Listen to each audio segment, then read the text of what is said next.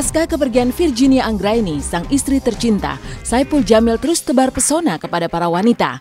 Seolah ingin mencari pengganti almarhum Virginia, Saipul rajin mendekati sang wanita. Tapi pada akhirnya semuanya tak ubahnya sandiwara belaka. Berpura-pura mesra layaknya seorang kekasih. Padahal diduga hanya untuk mendongkrak popularitas. Belum hilang dari ingatan bagaimana ia mesra dengan Melinda, Fitri Karlina hingga Indah Sari. Namun kemudian semua seolah ketahuan belangnya. Memanfaatkan situasi untuk mendongkrak bedangdut yang ingin cepat naik daun. Maka ketika kemarin Saipul mengenalkan seorang wanita lain lagi, berbagai spekulasi pun bermunculan. Ada kecurigaan, benarkah lagi-lagi untuk mendongkrak popularitas? Meski Saipul mengenalkan wanita itu seperti almarhumah istrinya.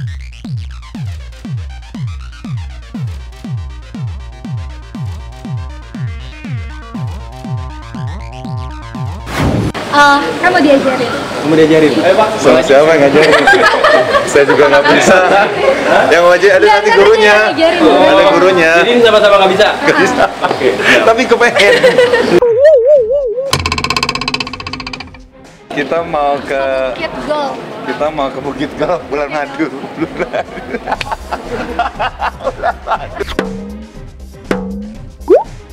Bulan madu di Bukit Gal lucu juga. Pakai perasaan. Ah, dikit lagi. Oke. Satu dua. Yeay. Ya sekarang jadi nonton Ipul ya. Sih? Satu, dua. Ya. Wow. Gampang Pak.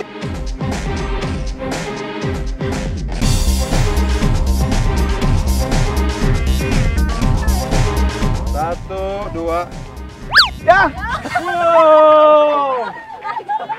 Gampang Pak. Hari ini, hari ini saya umumkan. Oh iya, oh iya, kamu ada orange juga ya? Wah, Jodoh. jangan-jangan kita Hmm. Emang benar sebentar lagi kita mau ya. hari ini jarak. Dia ini usianya sama kayak mantan istri aku. Lahirnya tahun 90, ya kan? Iya. Aku 91. Eh 91 beda setahun lah. Ya karena mungkin aku pernah beristrikan usia segitu. Jadi untuk untuk penyesuaiannya nggak terlalu rumit lah gitu. Ya eh, apa ya terus terang aku sama Niar kenalnya baru banget. Jadi eh, memang rata-rata sih semua kalau baru kenal pasti indah. Gitu kan. Cinta satu malam. Oh, indahnya. Jadi enggak enggak itu lagunya doang gitu. Seperti ingin meyakinkan bahwa apa yang dilakukannya kemarin jauh dari unsur rekayasa untuk mendongkrak popularitas, Saipul meluncurkan rayuan kepada teman dekat barunya seperti bagaimana bila Tuhan memberikan hati kamu ke aku. Lalu Ipul pun seperti membolak-balik keadaan seperti menggebu-gebu berharap wanita barunya itu akan mengisi hidupnya tapi tak lama kemudian menyebutnya sebatas teman. Hal serupa pun pernah dilakukan Saipul terhadap Fitri Karlina dan Indah Sari. Dan tak lama setelah muncul seolah berseteru dengan Indah Sari, Fitri Karlina pun menyanyikan lagu ABG Tua. Kini dari dua wanita yang semula terlihat menggebu-gebu berebut cinta Saipul, tak ada lagi yang dekat, apalagi resmi menjadi kekasih Saipul. Indah. Ada lagu buat kamu.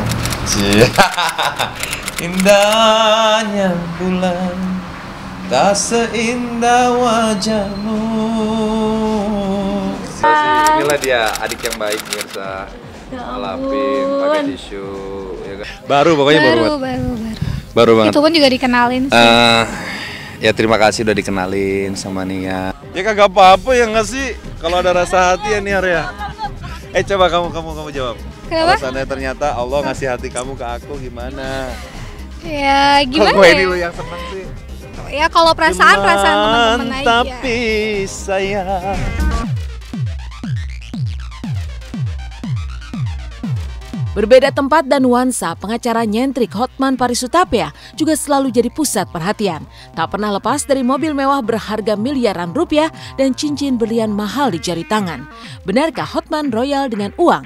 Saksikan intens di segmen berikutnya.